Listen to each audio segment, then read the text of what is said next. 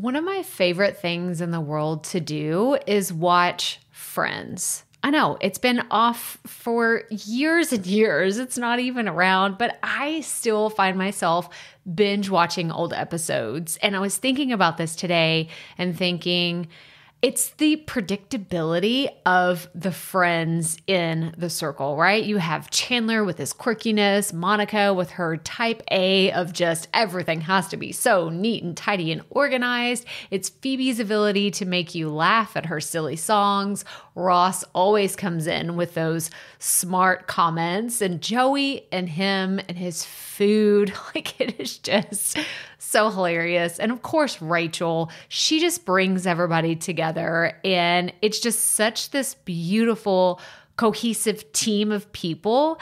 And it's why I wanted to come on and share with you today that I have an opportunity for you to find your friends in the content creation space. So, if you are thinking about creating your first or your next digital course, I don't want you to miss this opportunity because Amy Porterfield just opened the doors for registration for her Course Confident Bootcamp. And I'm actually offering a special bonus for anyone that registers for the Course Confident Bootcamp through my special link. So I want you to go to krystalproffitt.com forward slash Amy dash bootcamp to register.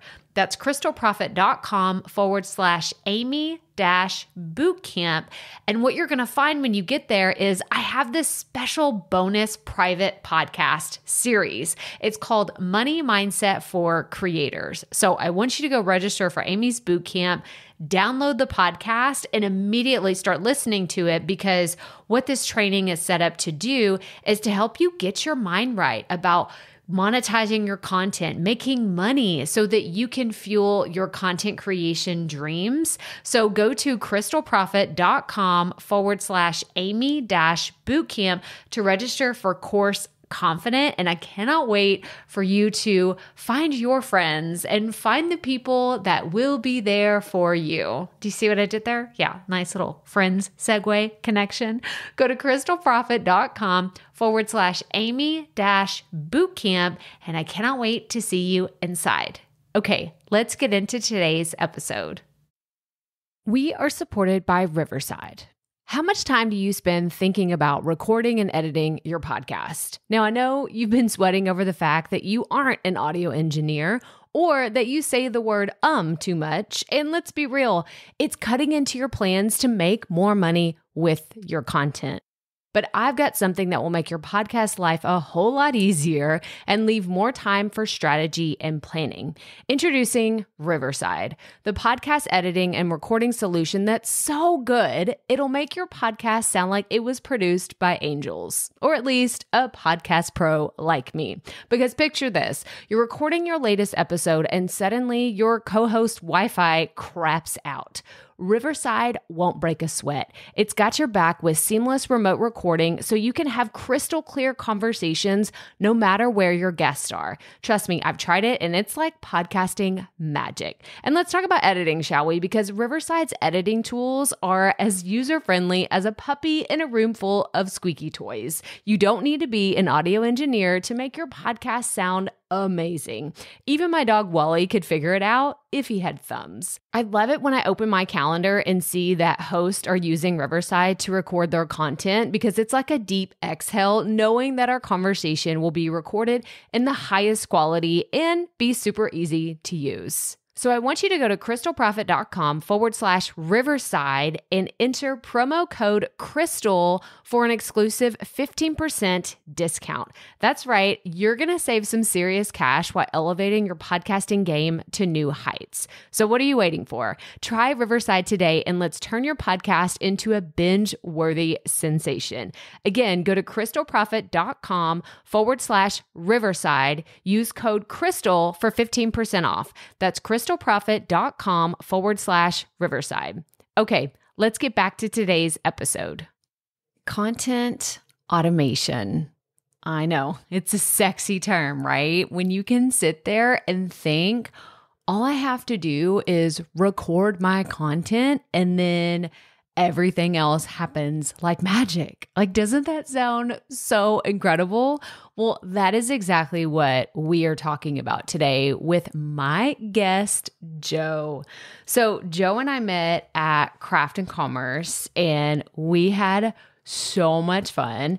And this is one of those, I think I've talked about it multiple times here on the show, that this was probably the event of the year that helped me meet so many incredible people from podcasters, content creators, people that are doing really incredible things in the content creator space, but Joe specifically, I actually had two or three people say, Hey, you need to meet Joe. Hey, let me connect you with Joe. Whenever I told them I was a podcast coach, because Joe is a podcast automation coach who helps busy solopreneurs grow their podcast into authority building lead generators. So, Joe is an expert at creating automations to help people take work off of their plate and improve their podcast processes because I mean, just get ready. This is such a fantastic interview. We talked about how Joe and I would absolutely be on each other's team for trivia night. Like, we get into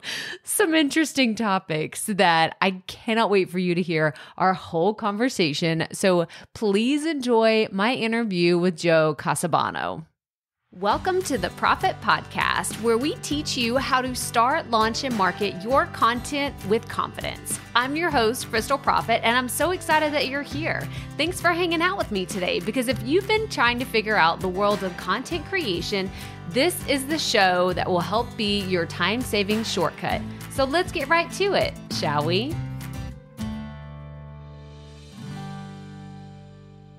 All right, Profit Podcast listeners, I have an extra special guest today. Joe, welcome to the show. I am so happy that you are here. How are you? I'm great, Krystal. Thanks for having me. Uh, I'm stoked to be here to talk podcasting, automation, all that fun stuff, all the things that light me up. Yes, yes. So Joe and I met, you know, I gave like a brief introduction in the intro about Joe and I meeting at Craft and Commerce earlier this summer. And it was so fun. I was trying to remember all of the things that we talked about. It was like a happy hour, and we were like, you know, chit chatting about all the things. But I realized very quickly that Joe and I should be trivia night partners because yes. the pop culture, like we would crush it. Absolutely crush it. What were all the shows we were talking about? I don't even remember now. there was there, I mean, like I can go through it was such a whirlwind. First of all, this will always be like a weird claim to fame for me because Amy Porterfield introduced us, which is just really weird to say. Yes. uh, cause like that was the first time I had ever met her in real life too. So like, um, so it's just like a wild evening. Uh, I think we caught each other walking somewhere else at another time, but uh, like Scrubs and How I Met Your Mother and Friends are always like the ones I'm talking about. Yes. Um, yes. and you know, it's funny as we record this, uh, someone else that I hung out with a lot at Craft and Commerce tweeted like, "Hey, thanks for all the great uh, connections I made at Craft and Commerce. Shout out to," and then like he tagged me and said for his like seemingly infinite movie and lyric knowledge. I'm like, yes, this is. I've made the right impact. Like it's it always nice right to thing. get recognized for these things. I think it was we went into like a full blown debate, and I don't even know how we got there. Like it was just like Hey, how's it going? I'm Krystal. I'm Joe. And then all of a sudden, we were in this heated debate over Game of Thrones versus House of the Dragon. And I mean, it was yes. just like immediately talking about all things. And it was so much fun. So that's how it will always be solidified in my brain that we just need to be trivia night buddies because we we could we would rule we would absolutely rule the whole thing yeah i agree wholeheartedly and i'm totally down for that we'll have to make it happen yes but we'll we, will we'll organize a, another one at Craft and Commerce next time. Yes, that would be yeah. so fun. Okay, we're gonna like hang on, let's bookmark that. We're gonna like send a message to them later and be like, yeah. "This is a request. This hey, needs to yes, happen." Let's do a trivia night. yes, but I have you on the show today to talk about podcasting and automation.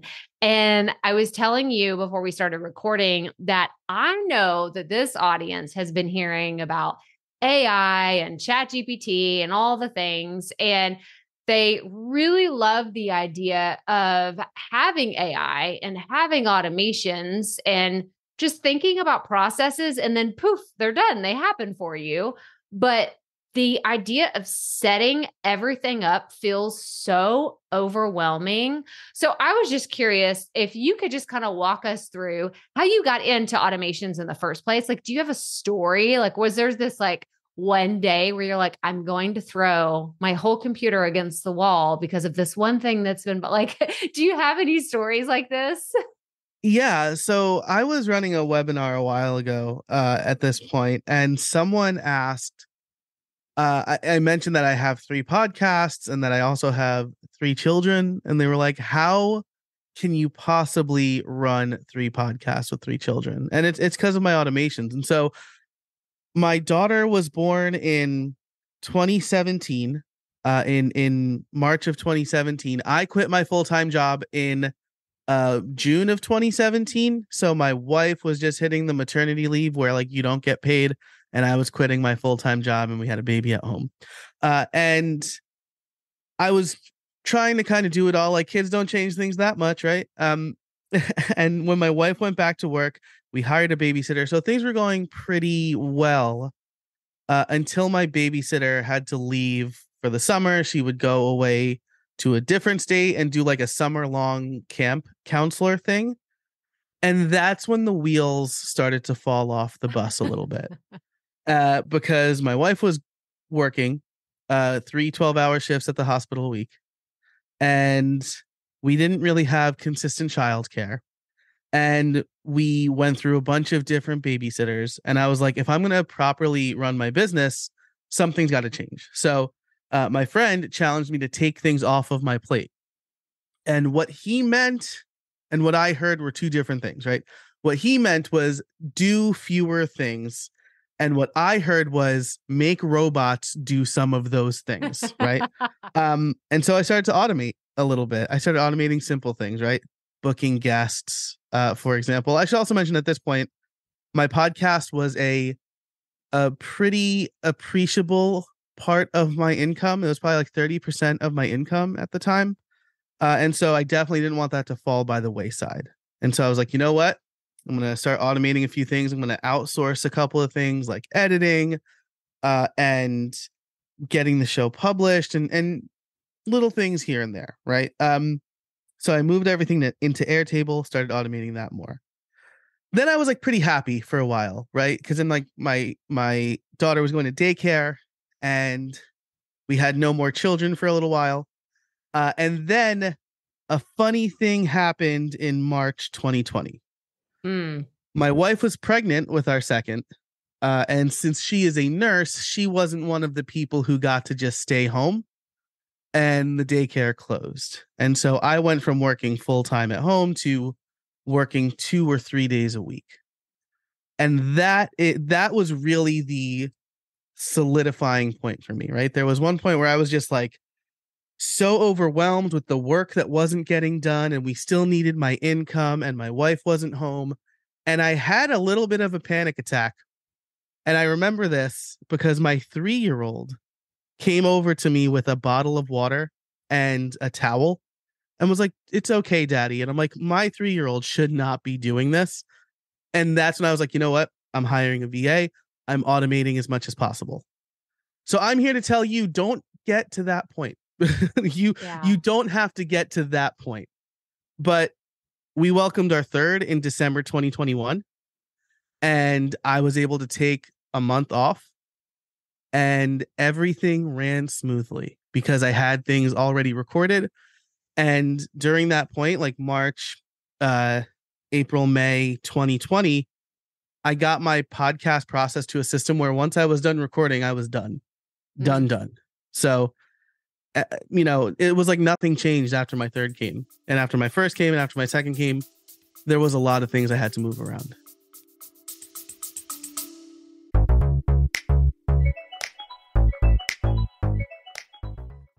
Being a woman in business comes with its own unique set of challenges, but also so many opportunities. We get ahead by leaning in to what makes us different from business as usual. I'm Samantha Hartley, host of Profitable Joyful Consulting, inviting you to a special six episode series exploring the experience of being a woman in business. You want to hear from women consultants who've hit a million dollars, who sell six figure engagements, or who've broken their own revenue ceilings? Yeah, those are my clients, and they'll be sharing too. Join me for six must listen episodes that tackle key challenges for women consultants. Follow Profitable Joyful Consulting on your favorite podcast app.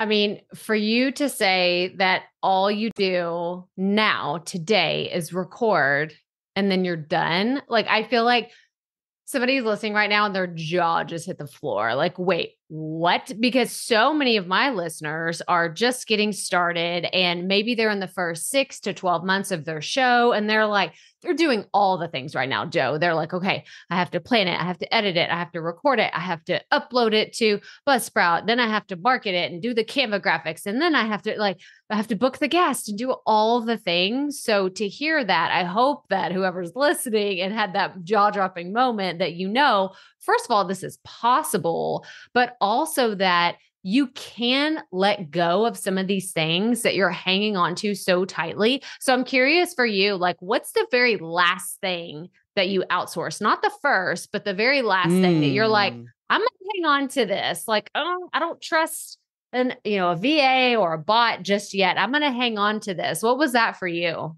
publishing my podcast. Mm. I was like, it's a WordPress site. It's not the easiest. There's a couple of steps. Only I can do that. Guess what?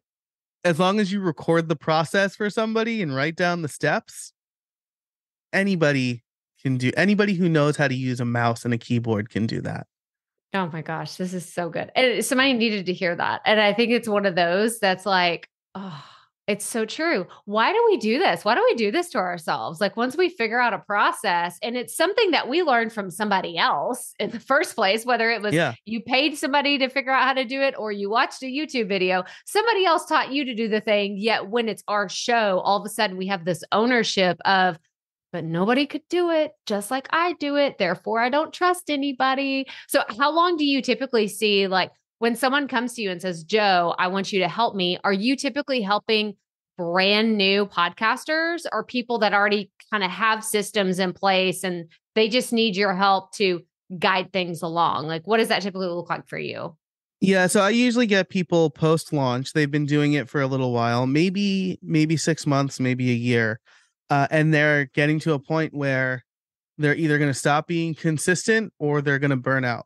Mm. And and they come to me and they're like, "You have 3 kids and run 3 podcasts and presumably do other things. Um how do you, how do you do it?" Right? And some people it's it's helped me with my process. For some people it's helped me make money so that I Mhm. can actually hire an editor uh, and and get to a point where I can start outsourcing. Um, and then for some people, it's like it's like you're playing nine dimensional chess. Just do it for me, yeah. and I, then I don't have to think about it after I record. Yeah. Yeah. That's really good. Well, I'm curious, what are some of the monetization strategies that you love for podcasters? So I so I mean everybody thinks I have a framework. I can run through this really quick. It's called the Smash framework.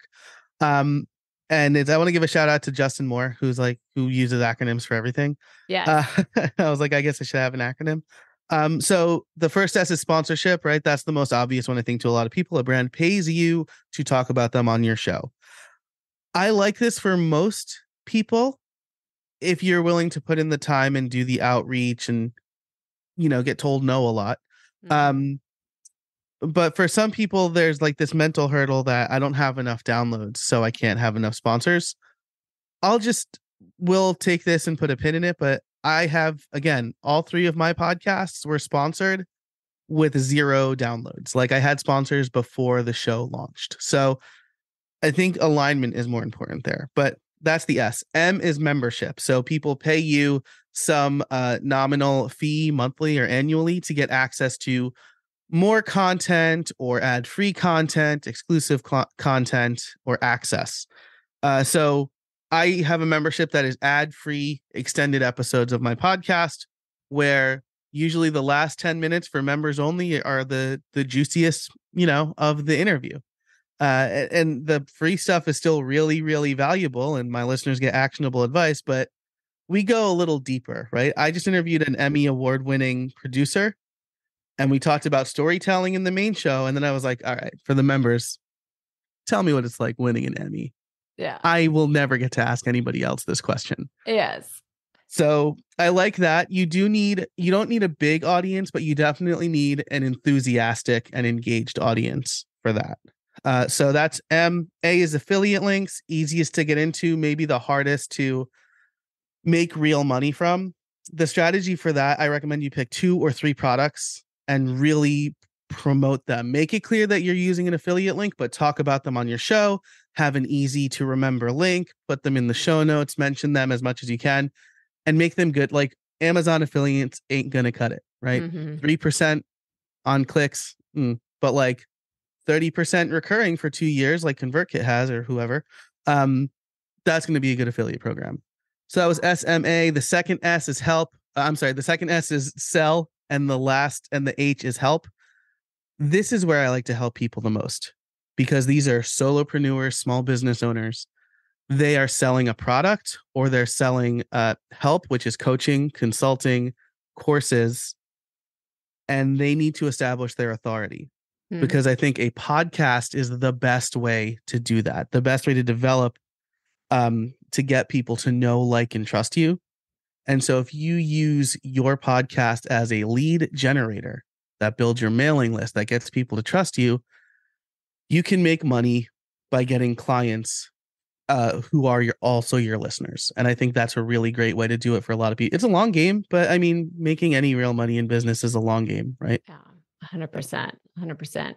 And I have to say that was smashing. Oh, well, As I- soon as oh, very said- good. as soon as you said smash, I was like, I gotta sit on this now. Shut up. Don't say anything. That was smashing. That was perfect. No, I Love I too I love a good acronym. And I think that like we are totally aligned on everything you just said about monetization because I believe that so many people see these huge shows and they are just I mean, seemingly we don't know the behind the scenes, but it looks like hey, hmm. they're just getting handed millions of dollars just for existing and for putting this thing out there. And so it's really hard for indie podcasters or people that are just getting started to understand the mechanics behind it, especially if you don't come from a business background. It's even harder. I have people in my audience that have podcasts about uh, their doulas and midwives and people Mm. that do caregiving coaching and people that are trying to help real estate agents. And so they don't have this mechanics of sponsorships and working with, you know, ad revenue. They're just like, I, it's intimidating because they don't understand it. So I love that you just broke it down so simply and you made it attainable because that is um like I'm so glad to hear that it's not just me that sees that that we see this across the entire podcast industry that so many people are like I only get so many downloads. So you had zero downloads before you started getting sponsors. That's incredible. That is so fantastic.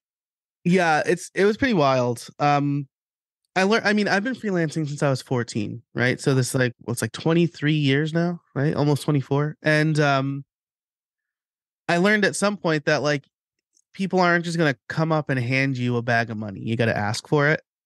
And so when i was launching how i built it um i knew my audience was wordpress developers uh originally. Now it's so i've like pivoted uh it was like a long kind of like glacial move over a bunch of years but i've pivoted and i have a really clear different audience now. And even more downloads uh which i mean download is not the metric but you know kind of watching the trend to see how i'm tracking with my current listenership is that's the only way i could do it right now Yeah. anyway uh i had a really clear audience and so someone reached out they wanted to like do a backlink thing and i'm like oh i don't do that but like if you want to sponsor the first episode of my podcast for 99 bucks you can and he was like yeah sure and i was like oh who else would say yes to this yeah. So i just reached out to a bunch of people and i was like hey i'm launching a podcast in the wordpress space and people like yeah i know you like you your work is really good i'm happy to like duke you a couple hundred bucks to support this project and get it off the ground Yeah. And this is This is so interesting because um, I haven't recently been talking a lot, or I guess I have more recently started talking about sponsorships. Previously, so much of my content and you know teaching to my audience has been about affiliates for bigger programs. So not those Mhm. Amazon ones, like you know, like like the bigger programs like the higher ticket or higher level coaching packages where you can get started because so many people in this audience have spent a lot of like they've spent thousands of dollars on large coaching packages so why don't we turn around and sell some of those sell your own Mhm. products your own services but sponsorships is one of those areas where it's been a little fuzzy for me and now you already brought up justin i'm going to bring i have taken his program and started learning from him and joe that's actually where we reconnected Yeah, that's right. that Yeah. program. We're like, hey, wait, hang on. We need, Wait I a need to minute. get you on the podcast. I know you. We need to catch up.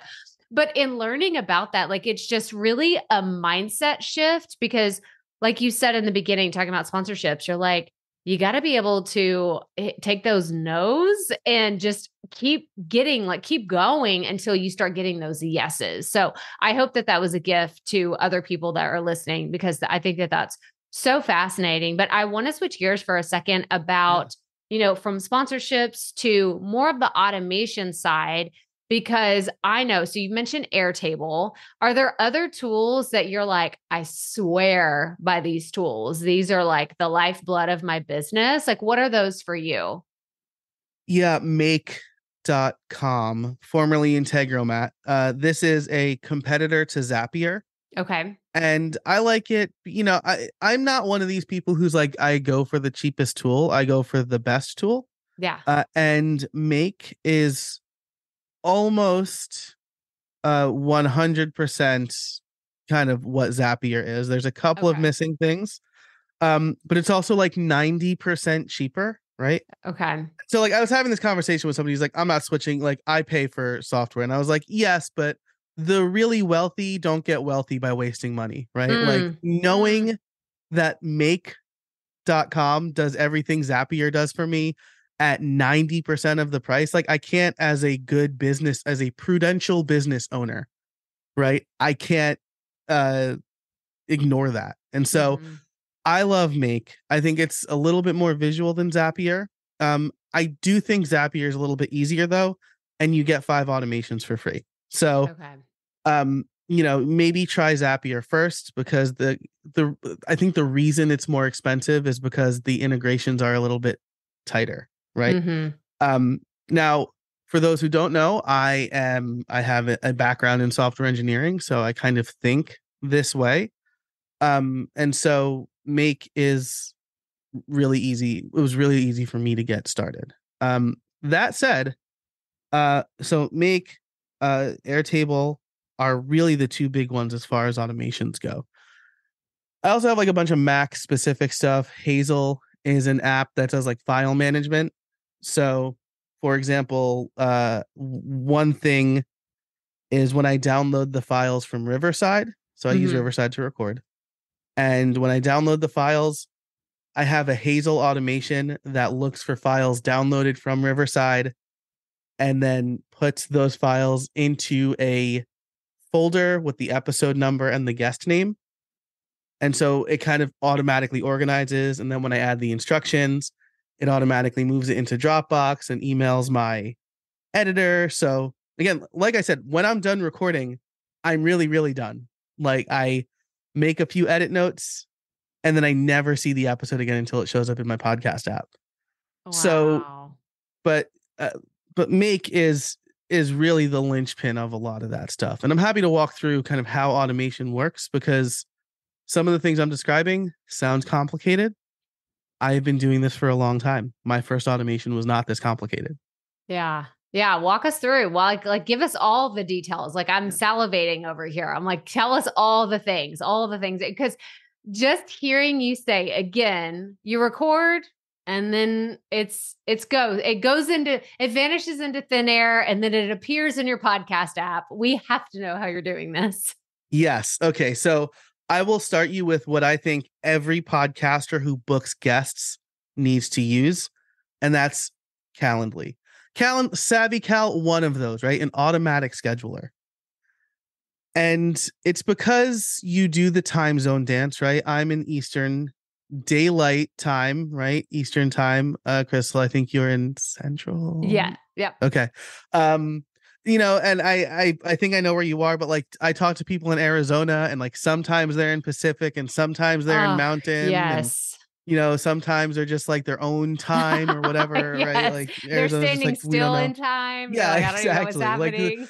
the best thing about Arizona is that most of the state moves time zones instead of clocks, except for like this one tiny town uh, or like county inside Arizona, which changes the clocks. So like if you live there, you're on like Arizona time zone. wow. Bonkers. Anyway, don't ever deal with that, right? That's one thing that you can easily take off your plate. Uh, but the second step is, I think, an often overlooked one.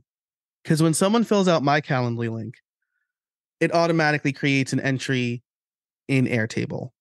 And Airtable is where my podcast planner lives. I have a Kanban board view. So, like, you can connect it to Trello if you don't want to use Airtable or ClickUp or n- maybe Notion. I chose Airtable over Notion and continue to because Notion's automations are they leave me wanting. Uh, but I think you can get information from Calendly to Notion. Uh, so wherever you plan your podcast, also you're planning your podcast, right? Like you have a planner that keeps track of the episodes. This is another thing that saves you a lot of time. Yeah. Uh, but once it's there, I kind of check my schedule daily to make sure I, I am at least four to six episodes ahead of schedule. I know where I got to fill in solo episodes and things like that. And Calendly also handles all of the uh, reminder emails, right? So it's like, hey, tomorrow, one hour from now. I also have it send a follow up email. This is why I picked Calendly over SavvyCal they do the follow up email or they did when I evaluated it. And it says, Hey, thanks so much for coming on the show. If you are willing, send me your address. I'd love to send you like a, a thank you note. And also, can you upload your headshot to this Dropbox? Right. Because like collecting the headshot is, you know, probably Yes. half, half of the people don't do it. Right. So, but like saying just like click this link and upload it here, that has that has gotten things a lot better for me. Uh, so that process, there's a lot of steps in one connection, Calendly to whatever your planner is, Trello, Airtable, Notion, whatever. So make that, and you're probably saving yourself a couple of hours a week, at least, right? And then there's a lot of stuff that happens on the back end after we record. So again, I record in Riverside. Uh, I this is this might change. This will almost definitely change because Descript or Descript. I learned it's Descript.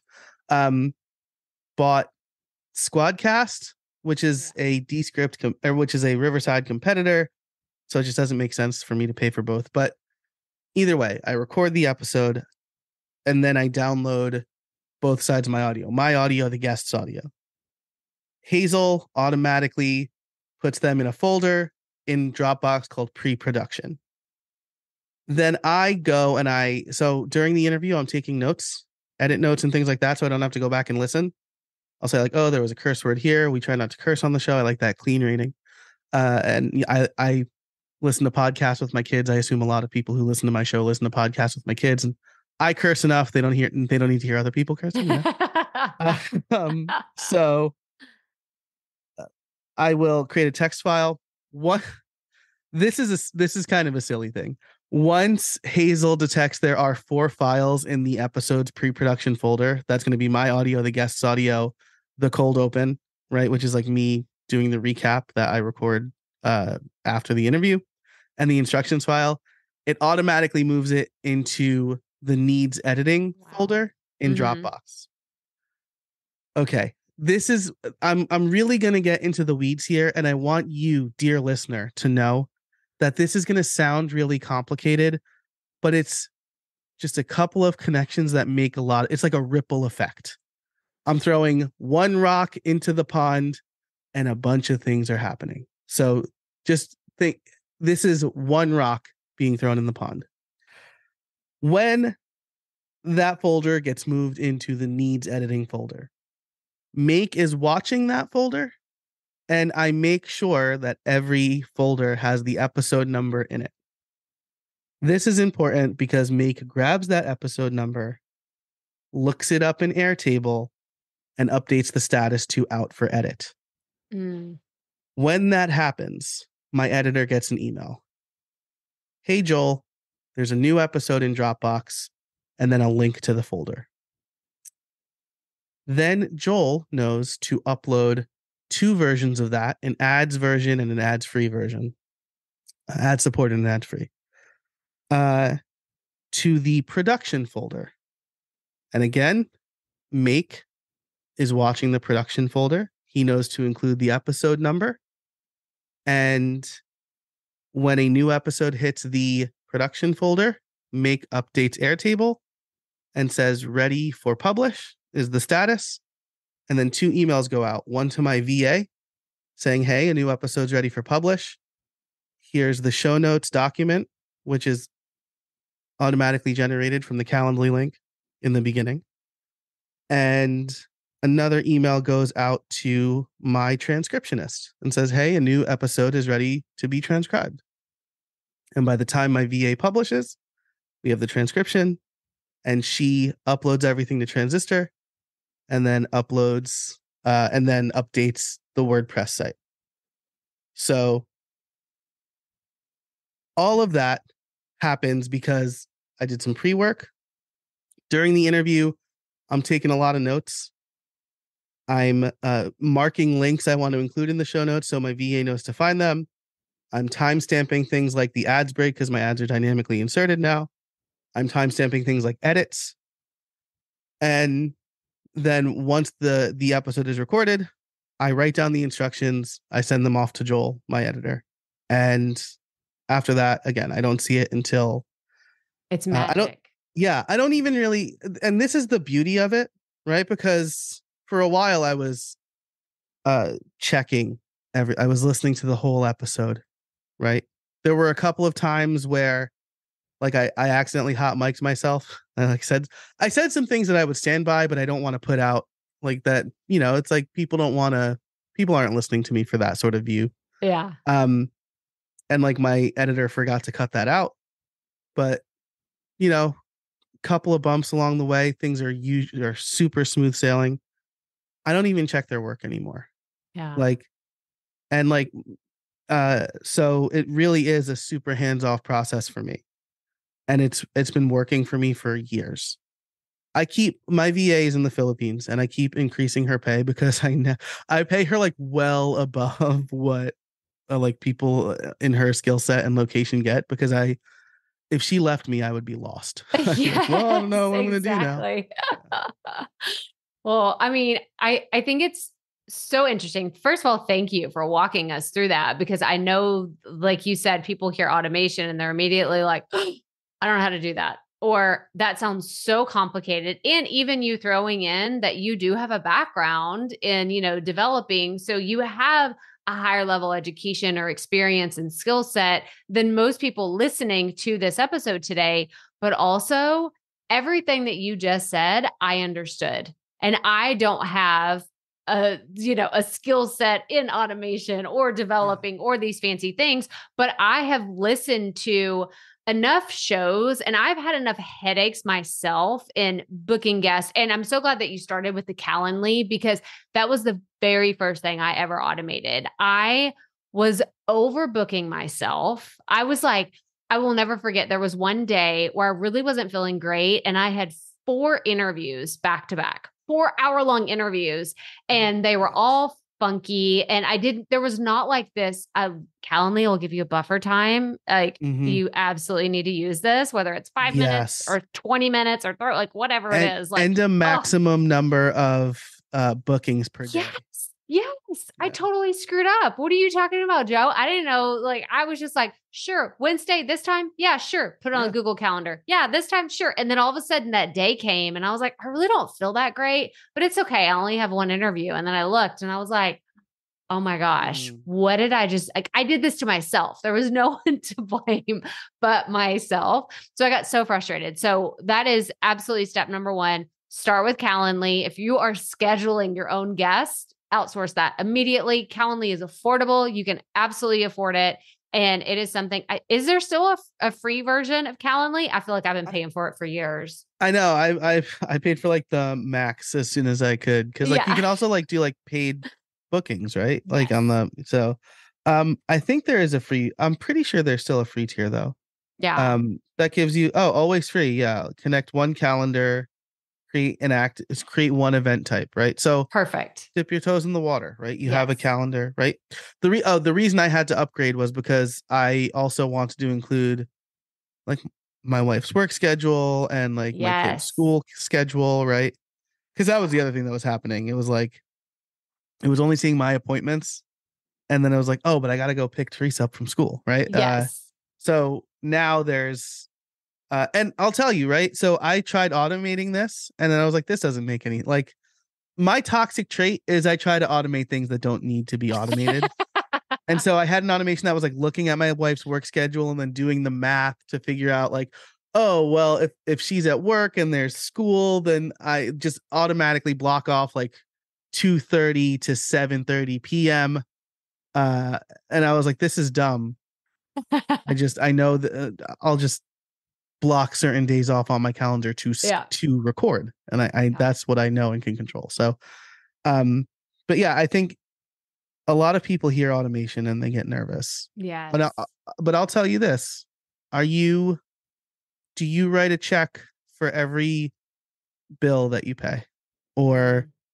does your mortgage or rent automatically come out of your account mm-hmm. does your electric bill automatically come out of your account if if you said yes to any of those, then you are already automating.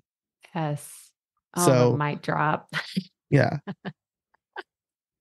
well, even Netflix and all of your subscriptions, like exactly everything, like everything yeah. is. You probably don't even have cash in your house at this point. Like it's all right. digital, it's all automated, and you know we're kind of living. We're living in this world where probably 10 years ago automation was super scary even though there were tools out there to use it, but they've been so fine tuned and refined and they're used yeah. by super large organizations. I think that 2020, like, you know, and everything of, you know, people working hybrid, working at home, like it kind of sped us up digitally by a few years because all of these tools somehow got better in a lot of ways. And I think that that is one of the great things that's kind of stuck around is the improved ability to have more automations or have just APIs and integrations in places where it wasn't readily available. And so um, I would love for you to talk about um, is there any part of your processes that use AI where it's hands off completely like and i don't mean like you know we have zapier and make and all those mm. but any like other parts of your process like maybe in the planning stage or something like because people i've just been asking me so much about ai so i'd love to get everybody's take on how they're using that in their production process yeah, this is a great question and very well timed because I just finished recording a course for LinkedIn Learning called Generative AI for Podcasters. Awesome. Uh, the main place that I use AI is in two ways. One is transcription, uh, automatic transcription. So I have one before my transcriptionist actually creates like a proper no errors, proper links, and things like that uh, version because I do like to search for that, especially if I'm like, oh, I think we talked about this at this point, or like I really want to use that quote for the cold open. Like what what timestamp was that after after edit, right? Um, and so I really use it for that. And then there are a couple of tools I've been experimenting with that I'm probably going to settle on one very soon. Uh, and they are uh, Capsho, Cast Magic, and Swell AI. And they all kind of do the same thing. They transcribe your episode, they summarize it and then they create shareable assets for you. And I have been told I'm a very good writer. Uh, so I write a lot and I write um, pretty well. So I end up rewriting a lot of the stuff that it produces, but the there's a quote at this time that we think is good or here's the here's the basis for a Twitter thread. That's the stuff I love because mm-hmm. I don't really think about that stuff, right? Yeah. Uh, there's the stuff I remember to write down in the notes, but if I'm really into the conversation, right, and I'm like, yeah, totally, I'm probably not. I, I want to be engaged, right? There's the balance between being engaged and writing down the important stuff for later. And tools like Cast Magic and Swell AI and Capsho make it so that you can remain engaged and still get some reminders of what you actually talked about in the episode. Right. I found that like Capsho probably does the best job of figuring out what the episode's about. Uh, but de- uh, deriving assets from those is a little bit confusing. I think that Cast Magic and Swell AI do a better job of making it really like here is a Twitter thread. Take this, copy it, and paste it into Typefully or whatever or Hype Yeah. Uh, so I'm I've been messing around with a few of those. I got the lifetime deal from AppSumo for Cast Magic, and I'm always suspect of lifetime deals. I know. Uh, Uh, but they've been improving at a pretty rapid clip. So it sounds like they've taken that cash infusion they got from the AppSumo sale and have been investing it into engineering, which has been really cool. Uh, so that's that's mostly where I use it. But the let me tell you, the thing that I've really loved about it lately, uh, I've I've been using ChatGPT four, which who knows, this episode could come out tomorrow and it could be outdated already. Right, things are just moving so quickly. uh, so I've, I've been using ChatGPT and I've been writing prompts like this. Uh, I have a podcast that targets busy busy solopreneur and creator parents who want to save time in their business by doing less of the process stuff. Can you give me two listener avatars for this podcast? Make one male and one female. The results I got from that were astounding. Like like these people were clear as day. yeah. David's a 35 year old stay at home dad who has two kids, 10 and 7. He works on his podcast in the evenings after his wife comes home from work and the kids are in bed. And um, Jenny is a single mom with a seven year old. She has a full time job, but she does her podcast on the side as a way to make extra money. And I'm just like, I can see these. I can see David. I can see Jenny. And then I ask follow up questions. What kind of questions would David have for me if he listened to my podcast? What are the problems that keep Jenny up at night? And the answers I get are incredible. And I'm not going to say it's better than actual listener research, but if you don't have a way to get your listeners or you want to test the waters first, like if you're starting from from zero or near zero, it's an incredible tool that helps you really niche down your podcast and figure out who you're talking to. And that's really what helps your show grow, right? Not everybody is Joe Rogan. Only Joe Rogan is Joe Rogan, right? Uh, y- you can't just talk to everybody. You need to have a, a mission statement in mind. Who do you help and how do you help them? And if you don't know that or you don't know where to start, ChatGPT and other AI tools can be really, really helpful for that.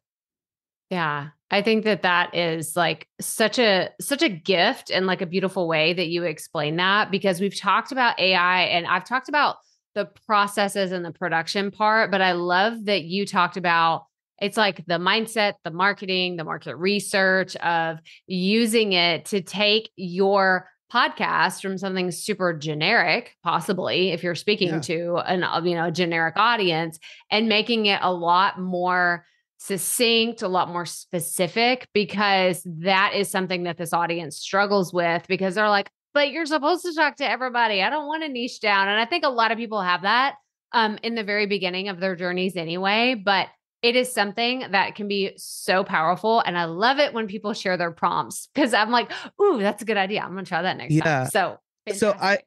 I have a blog post on this. I'll share it. Um, Awesome. I've, Perfect. I've created a landing page for your listeners over at podcastliftoff.com slash profit, uh, the way that you spell profit in the show. I'll probably make it redirect both ways.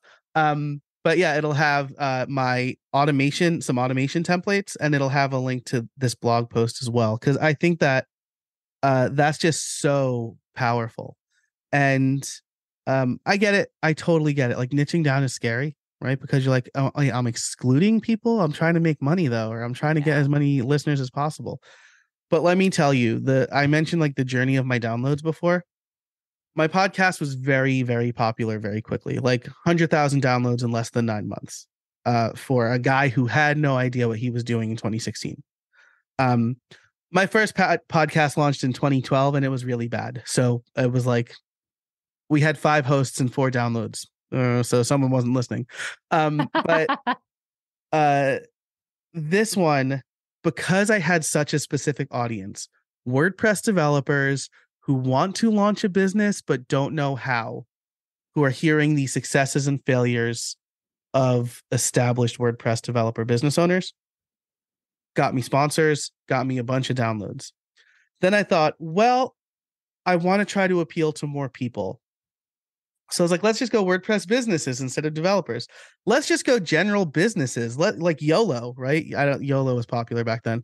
Um, I got 37. you, I really I got I can't you. pull that off. But um and guess what? My downloads dipped. I went from like being number 23 in uh in Apple podcast technology charts to like 2000 because I was in I I moved from niche and topic. So then I was like, I gotta get I gotta get back. And so then I decided um instead of general business, I'm gonna talk to creators. Actually, I'm gonna talk to solopreneurs. Actually, I'm gonna talk to busy solopreneurs.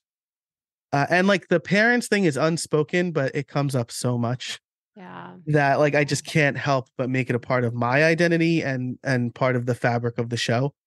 And now I'm getting like 70,000 downloads a month again, right? Like I've I've it went mm-hmm. from lots of downloads dipped and then and back up again. So niching will always help you because it gives you that engaged audience that your message resonates with. Yeah, that's fantastic. Oh my gosh. I feel like there's so many mic drop moments in this episode today and so many things. Like, we're going to have to have you back on the show, Joe, because this was fantastic. It was fantastic. So, I have a few rapid fire questions that I All want to wrap up with. So, don't be nervous. I promise. They're not scary. They're not tri- All they're right. not trivia night hard, okay? We're not going to get there all yet. right. Okay. So, what piece of advice would you give to a brand new podcaster? define your mission statement first. I kind of said this earlier, but answer these three questions Who do I help? How do I help them? And how does each episode further that mission? Like, how does each episode drive home the fact that I'm helping them solve this specific problem? That's awesome. That's really good. Okay. The next one is a two part question. All right. Who is your dream podcast you would love to be on? And who is the dream podcast guest you would love to interview? Oh, man. This feels trivia night hard. um so whose podcast would i love to be on? I know they don't have guests so this is like kind of a cop out i think but stuff you should know. They were just like my first love. Um i love that podcast. I think those guys are so funny and i don't know what i would talk about with them but it would just be a blast. Like i'd learn from like some og podcasters yes. I love it. uh, and who is my dream guest? This the chains move on this a lot. Um, but I would love to talk to Andrew Warner. Uh, he his book Stop Asking Questions really helped me level up my podcast and the kind of research I did for guest interviews. Um, and and it it really helped me build a better story around the interviews instead of just saying like so who are you? Tell us who you are and what you do right? Like so i think it's it's him him or lindsay graham not the senator the guy who hosts like uh history daily and a bunch of other history podcasts for wondery. Um his his voice is just fantastic so i mean i would talk to him about storytelling in a nonfiction setting uh and then he could just talk because his voice is fantastic Oh, I was going to say, I heard him speak. I think he was at Podcast Movement Evolutions in Vegas earlier Yeah. this year. And I Yeah. heard him and I was like, this is delightful. like, it's this is delightful. Yeah, he's great. His I can't recommend his like if you want to know how to weave a good story into like seemingly mundane things like I don't know, the founding of Netflix. Like it's a cool story, but like, man, the picture that he paints is incredible. So if you want like a masterclass in storytelling, listen to that show. That's awesome. We're going to link to those in the show notes. It was great. So, my last question is Do you consider yourself a perfectionist? No, uh, I don't. I used to, uh, but kids change everything.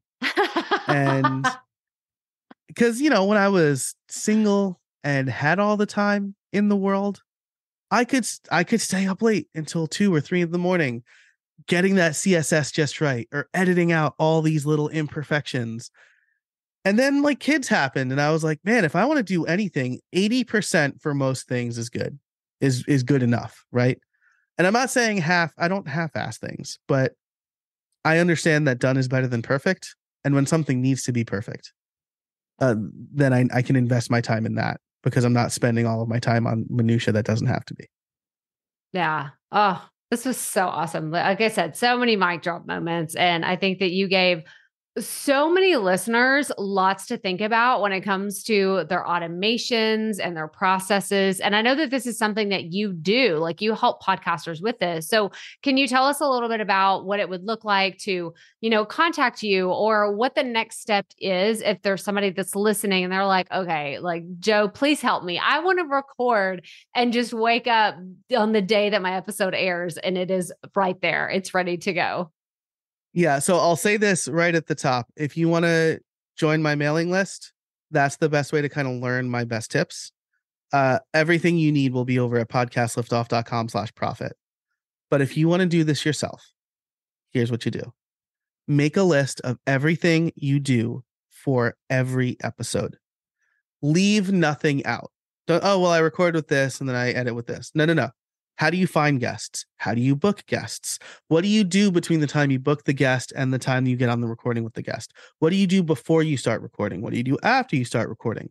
Literally everything from whatever, right? From coming up with episode ideas to promoting them on social media. Then I want you to Marie Kondo style circle only the things that bring you joy only the things that you need and want to do. I'm going to give you a harsh truth. All you need to do is talk. If you want to book the I book the guests still, right? Cuz I want to make sure I'm booking guests that that fall in line with my values. So that's if you want to find and book guests. But even then you can like make a list of names and then have a VA like do some research on on them, right? And then have them book in Calendly. So Circle the things that bring you joy.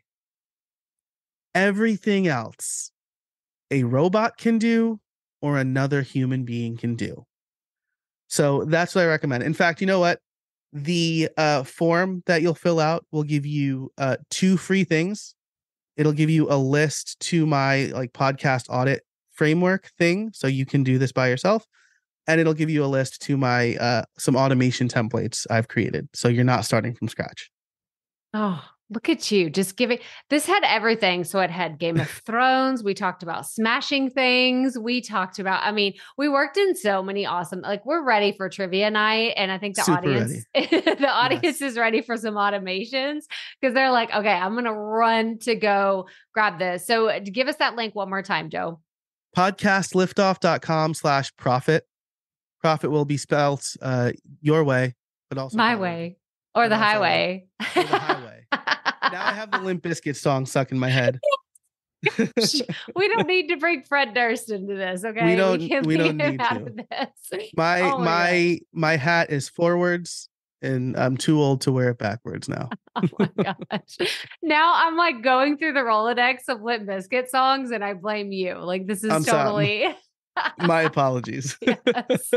Oh my God. This was fantastic, Joe. And I'm going to have a link to everything in the show notes that we talked about today. But I so appreciate you sharing your knowledge, your wisdom, your time with us today. This was fantastic. So thank you so much for being on the show. My pleasure. Thanks so much for having me. I had an absolute blast. Okay. I just have one question to ask. Are you motivated to figure out how to make this system work? I know, me too. It was actually this conversation with Joe that inspired me because I've been looking at, you know, I need to hire a VA. I want someone to help me do some of the back end processes of my podcast in my business. And this was the conversation that really pushed me over the edge because I've been kind of, you know, wavering and taking my time and dragging my feet to make it happen. And this was a conversation that I was like, you know what? I'm just going to do it. I'm going to do it. And I have since hired someone that is helping me short term and, you know, working a few hours here and there in my business every single week. And it's made all the difference. And I've already said, okay, we're increasing your hours because this is incredible to hand things off of my plate. I have already been able to make more money and dedicate my time to more revenue generating, lead generating strategies in my business because I have the brain power and the capacity now to do these strategic things that I didn't have time to do before. So please go follow Joe. Like, go listen to all the things. Like, I love that he is an expert in Zapier, Zapier. This is like one of those words. I never know how to say it, but it is such an underestimated tool on the incredible things that it can do. I am planning on spending some time in 2024 to figure out like how can I make this work to my benefit? How can I make it to the dreamy things that Joe talked about? I mean, think about it. Think about this for a second. What if you could just record your show?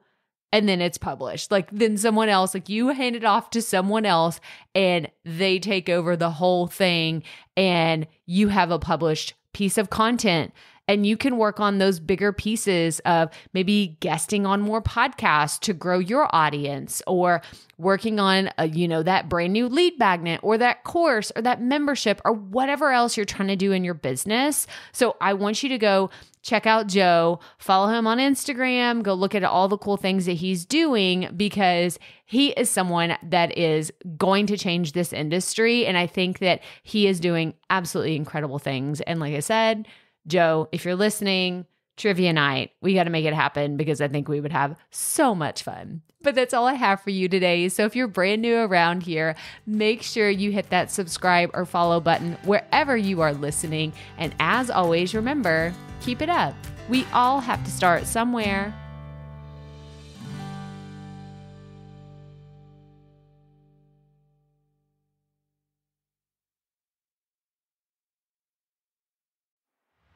Hey, Profit Podcast listeners. Thanks for sticking around a little bit after the episode to hear this special message because I want to hear from you.